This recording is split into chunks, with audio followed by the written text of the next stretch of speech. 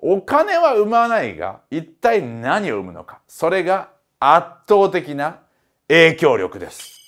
そうなんです。ツイッターのですねものすごく大きな武器それが世論を構成しやすい。これなんですよ。逆に言うと今 YouTube においてコメント欄で炎上するとかいいねバッドボタンが押されて炎上するっていうことしづらくなってませんか？NG ワードを決めたりですとか、ブロック機能があったりですとかしますので、かなり強くですね、チャンネルのですね、運営者にそのコメントのコントロールができるんですよね。かつバッドボタンも見えなくなったりすることで炎上ってしやすしにくいですよね。ですが、ツイッターというのは不確定なプレイヤーたちの集まりですから、コントロールしづらいですよね。自分からはブロックできても、相手はその自分以外の人には情報拡散できますから、発言力があるわけですよ。他の人にもね。なので往々にして炎上したりとか逆に言えば誤った情報とか差別的発言なんかもリツイートされまくってものすごいですねシェアされちゃうってこともありますよね。それによって大きな物議を醸したのがそうトランプ元大統領でしたよね。あのトランプ元大統領は2016年その大統領に当選する時からすでにツイッターの影響力がものすごい追い風になってた。そういうタイプの新しい政治家でしたよね。ですが2021年アメリカの議会を襲撃するっていう事件をまあ、引き起こしてしまったことによってそれがツイッターによって扇動されてたとみなされてツイッターのアカウントを永久凍結されたというタイプの政治家さんでもあるわけですよ。ツイッターという一つのインターネット SNS プラットフォームが一人の人間を大統領にしてしまった。そして一人の人間をしてですね、先導者にしてしまった。それがアメリカの仕組みそのものを変える影響力を持った。それがゆえにツイッターはその人間をツイッターから追放せざるを得なくなった。この出来事というのはですね、衝撃的な出来事なわけですよ。アメリカの世論をも動かす力がある。そしてそれを一番分かっている男、それはトランプの次に誰ですか？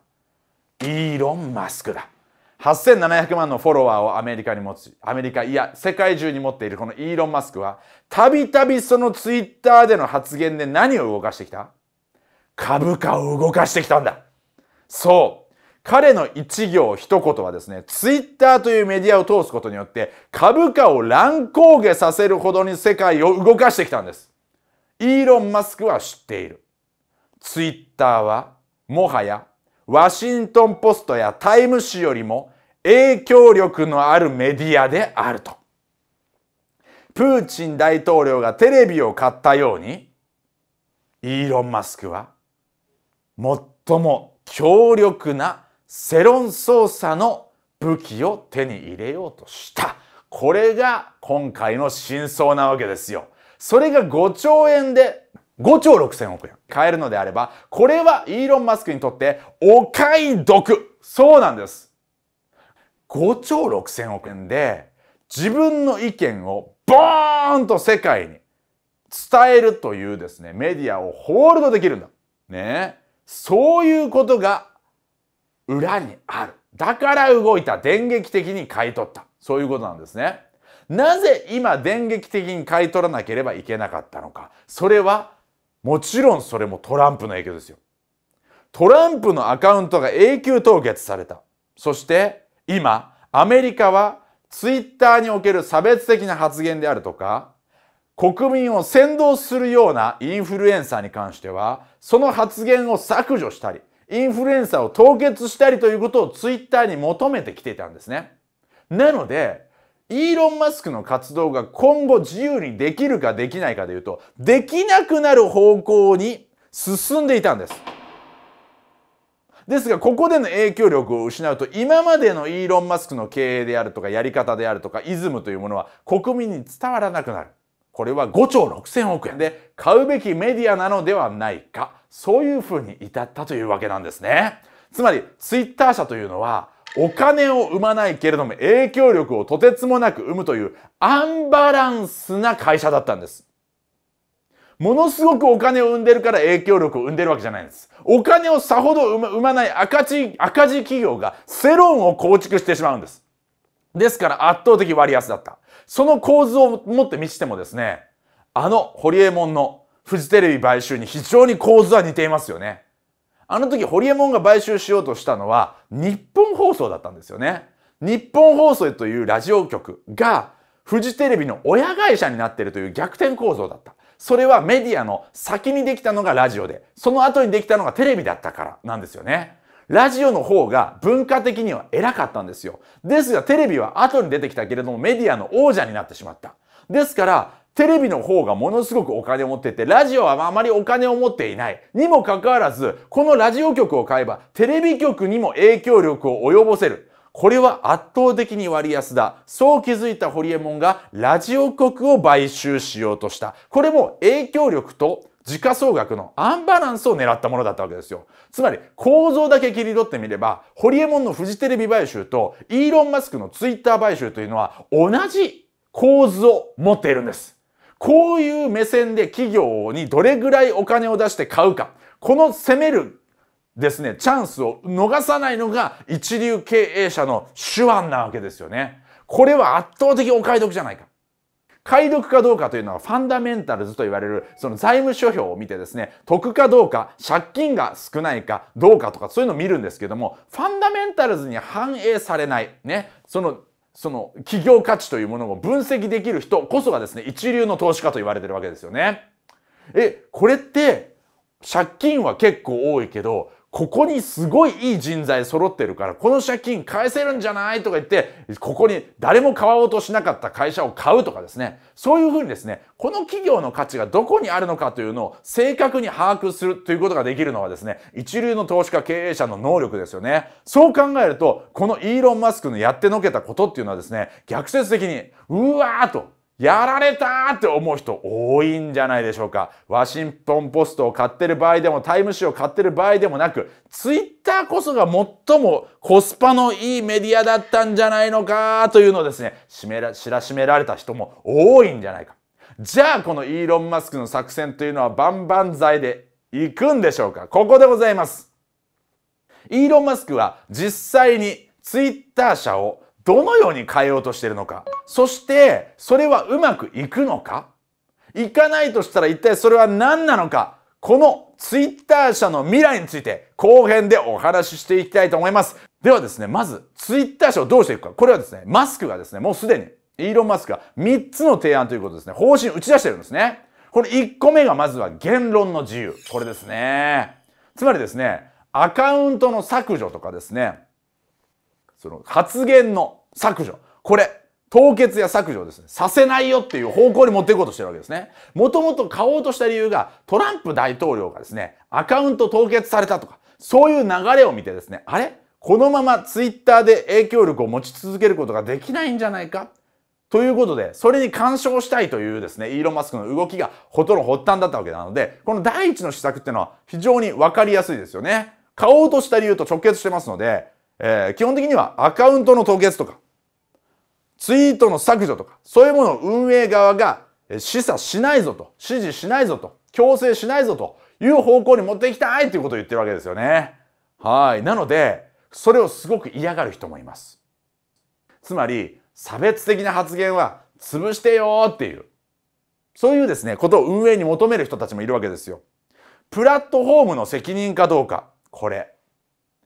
罵詈雑言や差別発言、いじめ、それによって、まあ、被害を被る人もたくさんいますよね。風評被害とか、嘘、デマ、フェイクニュースで、その仕事を潰されてしまう人とか、人格を否定されてしまう人とか、そういう人たちが、からするとですね、なんでツイッター社はあんな無茶苦茶な発言を強要してるんだっていうことで、そういう意見もたくさんあります。はい。この話、日本の何かと似てませんか ?2 チャンネルです。かつてひろゆきさんは2チャンネルにおいていろんな差別発言とかいろんなですねデマが流れたことによって不利益を被った人から巨額のですね、えー、損害賠償裁判で起こされてですね損害賠償をです、ね、支払わなきゃいけないってなったんですね。そうな、それをですね、しかもそれが裁判所で認められたんですよ。プラットフォーマーの責任だって言って。その結果、ひろゆきさんは現在、フランスにいるわけですよ。その損害賠償、少額の損害賠償を払わなきゃいけないのは日本に住んでいる限り。フランスに住めば、その損害賠償を払わなくて済むとなって、逆に言えばですね、フランスに引っ越さざるを得なくなったわけです。つまり、ホリエモンが企業を買収できなかった。ひ、ひろゆきが日本にいられなくなったという事件は、この IT とですね、企業というものとものすごく関わってるんですけども、それとですね、非常に似てる事態っていうのが、ツイッターにおける差別発言やデマは、取り締まられるべきかどうか、それはプラットフォーム側の責任かどうかっていう問題。これは2チャンネル事件と非常に通底しているものがあるわけなんですね。さあ、この問題に関して、プラットフォーム側は責任ありません。規制しませんっていうふうに経営方針舵取るぞって言ってるのがイーロン・マスクです。ですからその取り締まれよっていう人たちからするとイーロン・マスクはものすごく腹立たしい存在ですね。ああ、ツイッターがまた無法地帯になっちゃう。また差別されちゃう。またデマが流れちゃう。そういうことを言う人たちもたくさんいます。なので、ここをどういうふうにすり合わせていくのか。これはイーロン・マスクの手腕が問われるところですよね。しかも、ここ、後で詳しく述べますけども、国自体も規制した方がいいよということで、ツイッター社にプレッシャーをかけてたんですね。国との向き合いはどうなるのか。ここ非常にポイントです。はい。そしてもう一つ。イーロン・マスクが提案しているのが、あるアルゴリズムの透明化ですね。一体どうしたら表示されやすくなって、どうしたら表示されにくくなるか。えー、YouTube とか、えー、Amazon とかでもそのアルゴリズムっていうのはですね、まあ非常に秘匿されてるわけですよね。ですが、それはですね、言ったらあまりこう信頼を生まないぞと。特定のところに利益がいくようにですね、えー、アルゴリズムが組まれていると思われたらですね、どんどんユーザーが離れていきますから、アルゴリズムを透明化することによって、いや、もう、これしょうがないんですよと。ツイッター社は悪意の会社ではないですと。こういうアルゴリズムでこういうふうにやりますので、逆に言うと、悪口を言ってそれが拡散されたらそういうふうなね、ことがあっただけで、我々は何も悪意がありませんというためにもアルゴリズムを透明化する。信頼するためにも透明化する。まあ、非常にイーロン・マスクっぽいですよね。うん、そのテスラの自動車の作り方まで全部共有するよ、みたいなね。そういうようなやり方で、えー、クリアにする。これが2個目の施策です。で、3つ目の施策がユーザー管理。スパムボットとかを全部もう殲滅するぞというね。ツイッターでは謎のスパムボットいっぱいいますよね。気持ちの悪いアカウントいっぱいありますよ。ね。それ全部ぶっ潰して、逆に言うと今、有名人の認証マークとか本人マークあるでしょあれを今の認証の仕方じゃなくて、完全に全員を認証マークをつけると。いうことで死にアカウントとか悪意のアカウントっていうのをなくして認証していくよ。逆に言うと非常にそのユーザーに対してはこう近づいて管理しようとしますよね。Facebook と Twitter の大きな違いが、Facebook はかなり顔とか本人認証というものは強いですよね。Twitter は何個もアカウント持ってて、裏アカウントとか、そういうのがあるから、まあ結構こうね、あの、いいアカウントもあれば悪いアカウントも、まあまあ、ない混ぜで、ま、混ぜっ返しですよね。作りっぱなしと。それをかなり認証する代わりに、言論はもう自由にしてくれと。その代わりその言論がどれぐらい回るかのアルゴリズムは公開するという。非常にオープンでストレートなやり口をやろうというふうにイーロンはしております。なので、自分の性に合ったプラットフォームにするわけですね。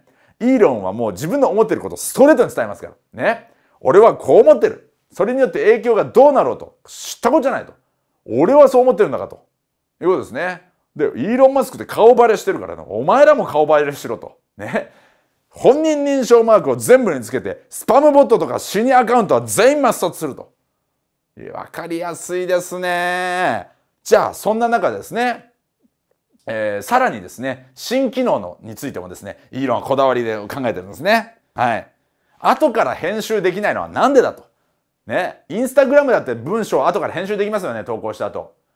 ツイッターはですね、いわゆるジャック・ドーシーのイズムでですね、もうポロッとツイートしたことが全てだろうと。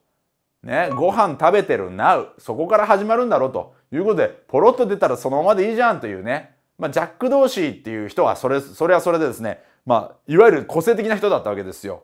そういう人が作ったツイッターというイズムがあったので、ツイッターは、まあ、もうね、後から編集なしにしようってなったんですけど、後から編集するに叱るべきメディアになったと、イーロン・マスクは思ってるわけですよ。ね。イーロン・マスクからするとですね、ツイッターは圧倒的に影響力のあるメディアになってるので、始まった当初の遊びみたいなメディアではないわけだから、編集もできるようにしようとか、あと長尺のツイートもできるようにしようとか、ね。そういうことも、まあ、管理、えー、視野に広げ、広げてるわけですよね。で、あとですね、まことしやかに言われたのが、ツイッターが有料化するんじゃないか。これですよね。まあ、だから広告をですね、表示させなくするためのサブスクリプションとか、そういうのも導入するんじゃないとか、まあ、いろいろとですね、そういう細かいところは言われてます。でもこれポイントなのは、この新機能の編集ボタンがつくつかないとか、有料化するしないとか、そういうことばっかりみんなが論じてるのが僕は残念なんですね。イーロン・マスクがツイッターを買ったのは、編集ボタンをつけるためではない自分のカスタマイズできるツイッター作りたいがために5兆6千万円出す人間はいないんですよ。本当にやりたいのは、この言論の自由化、施策一番の方です。なので皆さんには、この新機能いろいろの話がこれから盛り上がってくると思うんですけども、それに惑わされないでほしいんですね。イーロン・マスクが欲しい5兆6000億円出して欲しかったのは、ツイッターというメディアにおいて影響力を持続させることです。これがものすごく大事なことです。はい。じゃあそれをそのままできるのか。ここですね。さあ、ここからはですね、何がイーロン・マスクの心配のポイントなのか、ここを丁寧に説明していきたいと思います。まず、ポイントはですね、皆さんがまあいろいろ言ってるまあ、みんなが言ってる心配ポイントの、まあ、よくあるところがですね、ツイッターは公共のプラットフォームにもうなってると。公共の言論の場で、場を場というですね、みんなのインフラですよと。それをイーロン個人の考えで独断で進めていくっていうやり方でずっとそのね、公共の場を、公共性を維持できるか、これですね。はい。今までは上場企業だったから、株主からこう、いろいろアプローチすればですね、中立的な何かが作れそうだなと。でもそれが閉鎖してですね、私企業になってる。ね。一個人のですね、ホールドしてる企業になってる。これでいいのというやり方ですよね。大丈夫？イーロン極端だから、ツイッターってみんな使うからさーっていう心配。これはまあよくある心配の一つです。そしてもう一つ。もう一つが、イーロン・マスクはどうやらツイッターの仕様を改善するっていう話は盛んにしてるけども、ビジネスモデルの改善については何も言ってなくない？これですよね。そう。ツイッターは影響力はでかい。しかしお金をあまり生まない。これが根本の問題だったわけですよね。お金があるイーロンだから、お金についてはあんまり言ってないけれど、つまり他でお金を埋めてるわけですよね。テスラとかスペース X がお金を生んでるというふうにすれば、テスラがとにかくお金を生んでればですね、他は別に改善しなくてもいいっていう考え方もありますよ。アベマ TV みたいなもんですよ。サイバーエージェントはゲームがとにかく当たってるからですね、アベマ TV がどれだけ利益を生まなくてもですね、藤田社長はアベマ TV をやりまくりたい。ね。なんで藤田さんはアベマ TV やりたいんですか？一緒だよ。影響力だ。メディアを持ちたいんだ。堀江門、藤田さん、そしてひろゆき。すべて繋がってきましたよね。つまり、IT で当てるということ、影響力を持つということ、メディアをホールドすること、これは日本もアメリカでも常に行われてきたことなんです。このニュースがわかるかどうかは、日本の今の現状もわかるかどうかにつながってますからね。なぜ藤田さんはあんなに ABEMATV をご利用しするのか。利益を生んでないけれども、もうゲームで生んだ利益を全部 ABEMA で溶かせと。それぐらいしててもテレビが欲しいんです。サイバーエージェントは。そうですよね。すごい戦争ですよ、これは。ね。ですから、まあ、アベマよろしくですね、テスラの利益をぶっ込んででもツイッターの影響力を確保したいのか。っていうこともありますが、ツイッターでのビジネスモデルを改善するっていうやり方ができたらよりすごいですよね。ツイッターで利益を埋めました。これはポイントですよ。ツイッターの売上高はすごくあるんですけども、まあとにかくね、収益率が悪くてですね、赤字の年が多かったんです。で、3年前、4年前は黒字だったんですけれども、その2年をですね、除いてですね、ほとんどの期間で赤字を垂れ流してるっていう、そういう企業で、ビジネスモデルをまるっと変えて黒字を埋めたらですね、経営者としての手腕はすごいものがあるというふうに世界が認めざるを得ないと思いますよね。なので、その独裁的なやり方で公共のプラットフォームであるとこの SNS をうまく運営できるのか。そして、ビジネスモデル自体を改善することで、えー、世間をうならすことができるのか。こういう心配があります。そしてもう一つがですね、多角経営掛け持ちでテスラもやってるっていうことと、ツイッターにおけるルール作りが相反しないか。こういう心配もありますね。つまりテスラは中国とかにもですね、売ってるわけですよね。まあ心配な方はですね、中国という得意先に対して、ね、ちょっと忖度をするようなやり方になるんじゃないかとかっていう人もいます。なので、スペース X をやってるから、テスラをやってるから、ここにはあんまり強く出れないなというのが、SNS、公共のプラットフォームに反映されるのはちょっとまずいんじゃないかっていうことを心配する人もいます。はい。その3つがですね、結構あるあるの心配、よく出てくるイーロン・マスクがツイッターを買っていいの？という心配です。ですが、僕はそこがポイントではないと思っています。本当に重要なことというのはですね、国家との対立。こちらだと私は思っています。はい。これは、まあ僕のここからのね、分析と、その報告になるわけなんですけれども、まあ、ポイントはですね、4月25日、もう一つニュースがあったってことなんですよ。4月25日にイーロン・マスクがツイッターを買収すると発表されたその日にくしくも EU からもニュースが出たわけですね。それが EU はその加盟国に対してデジタルサービス法というものを成立させる方向で合意が取れたというニュースだったんです。デジタルサービス法？はい。これこそが、つまりですね、プラットフォーム側のコンテンツへの責任を追求するという法律なんですよ。つまり、まあ、YouTube の中でですね、まあ、有害な動画を流していたとして、それを YouTube が放置しているのは YouTube に責任があるよねということで、YouTube に国側が法律的にですね、プレッシャーをかけていく。Facebook が例えばデマを流通させてるのを放置してたら、Facebook にプレッシャーをかけていく。どんなプレッシャーか。そのデジタルサービス法に違反した場合ですね、そのプラットフォームの会社になんと売上の6%を罰金として徴収する。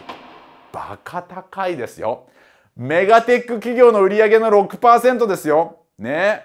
利益率がそんなに高くなかった場合、6%持ってかれるってことはどれぐらい大変なことか。これ大変なことです。巨額の罰金を取れちゃうよっていうことを EU 全体で合意した。これはすごいですよ。つまり、これは国家に対してですね、まずい情報とかを放置してるっていうのも取り締まれるかもしれませんよね。一経営者に都合のいいような言論とかをわーって巻き起こしてるメディアとかも取り締まれるかもしれませんね。メガテック企業への規制が強化されてるんです。国家に対しても、やはりですね、大きな影響力を持ち、持っているわけですよね。特にツイッターはその影響力で大統領すら生んだり、議会を襲撃するボートたちを生んだりするわけですから、これは国家としてはですね、もはやメガテック企業は国家にですね、もうややもすればあだをなす巨大権力になりつつあるぞということです。特に GAFAM およびね、T ですよ。ツイッターは。そうなるぞということを見越して EU、やはりヨーロッパ早いですね。そういう枠組みをもう合意したぞ。これが同じ日にニュースになってるわけですよ。さあ、どうなっていくっていうことですよね。さあ、このですね、巨大テック企業の責任を問うぞというですね、国家 VS メガテック企業。これが2020年代の大きなテーマになると踏んでおります。はい。なぜか。もうすでにそれで潰されたプロジェクトありますよね。それが Facebook のリブラですよ。あのマーク・ザッカーバーグが国家をまたぐデジタル通貨を作るぞって言ってですね、リブラっていうのを立ち上げたんですよね。それから名前を変えたり、メタになったり、DM になったりしましたよね。いろいろと名前を変えたけども、結果的にはあれ断念したわけですよ。なぜか。通貨は国の専売特許だ。これですよね。中央銀行によるデジタル通貨。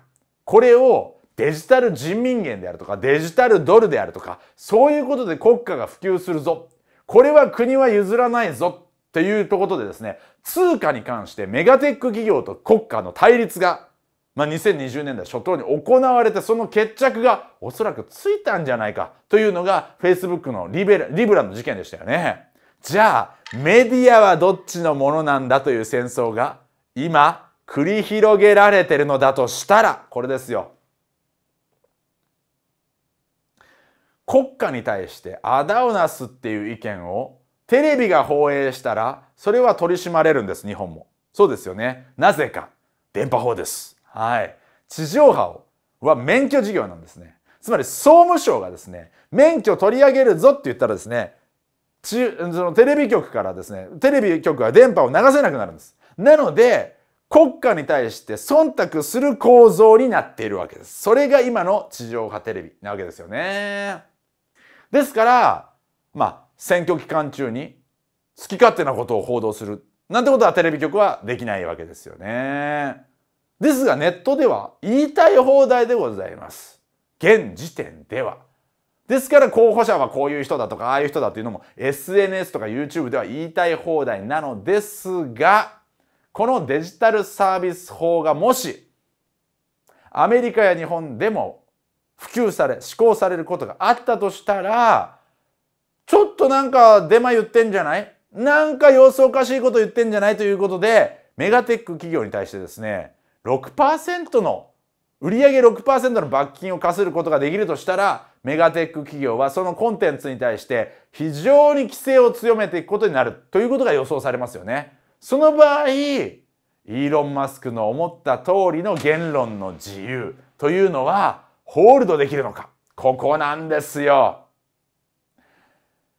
企業を5兆6000億円で買うことはできてもその企業を取り締まる法律まではまだ買うことができない。これがイーロン・マスクが次にぶち当たる壁だと言って間違いないのではないでしょうか。20えー、2020年代ねこの20年代に国家と最初にね、ぶつかることになる。ね、その最初だったこのマーク・ザッカーバーグのメタでございますけども、その次にイーロンはおそらくぶつかるのではないだろうかと。アメリカも EU と同じように規制を強める方向性ですから、イーロンのやり方とアメリカ政府のやり方というのはどこかでぶつかるわけです。その時、SNS はどうなるのか。これを見ていることで日本における SNS の運命も決まるそうですよねルール作りはヨーロッパからアメリカアメリカから日本へやってきます。SNS で自由につぶやけるのは YouTube で自由にしゃべることができるのは果たしていつまでなのかそのかぶらやとなる戦いそれが今のイーロン・マスクと Twitter のニュースだった。そういうお話でございます。メディアの明日はどっちだ？テック企業なのか、それとも国家なのか、それとも民主なのか、民主主義とネットの未来を占う一番面白いニュース、それが今回のニュースでございました。ではまた。ウェブコミュニティプログレス。